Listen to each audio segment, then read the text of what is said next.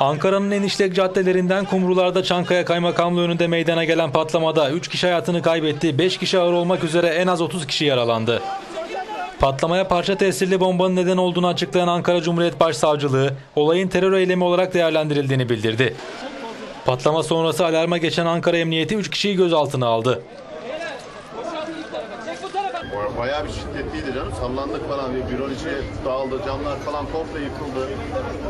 Binanın içindekiler. hele ön cephemiz tamamen gitti. Yerde yaralılar, yananlar. Allah kimseye vermesin. Kötü bir olay. İçişleri Bakanı İdris Naim Şahin patlamanın meydana geldiği yer dikkate alındığında terör saldırısı ihtimalinin yüksek olduğunu söyledi.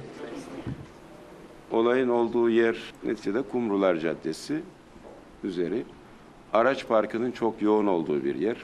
İnsan hareketinin de yine yoğun olduğu bir yer. Olay yerinin özelliği bu. Dolayısıyla patlamayla daha çok insana zarar verme hedefinin gözetildiği gözüküyor.